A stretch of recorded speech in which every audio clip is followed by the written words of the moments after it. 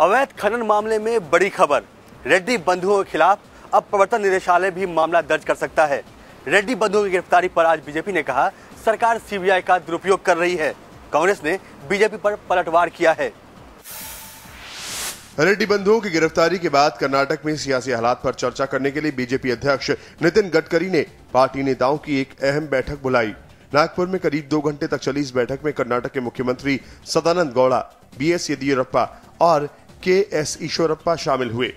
बैठक के बाद कर्नाटक बीजेपी के प्रभारी धर्मेंद्र प्रधान ने कहा सीबीआई केंद्र सरकार के इशारे पर काम कर रही है। इधर दिल्ली में रेड्डी बंधुओं पर बीजेपी और कांग्रेस ने आर पार की लड़ाई छेड़ दी है।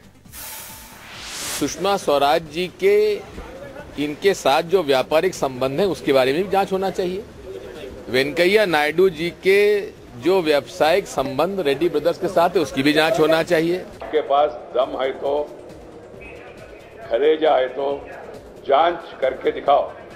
जाँच नहीं कर पाए तो जैसा अन्ना हजारे जी ने कहा पागल खाना में जाओ। क्यों नहीं होगी? वो दूध के धुले हैं। जरा उनसे पूछिए जिनके दोनों हाथ रेड्डी बंधुओं के ऊपर सिर पे रखे हुए हैं। हम हमारे हर विधायक के साथ हैं। समाज सेवी अन्ना हजारे ने कहा कि जनार्दन रेड्डी की अभी सिर्फ़ गिरफ्तारी हुई है। उन्हें उनके गुनाह की बराबर सजा मिलनी चाहिए।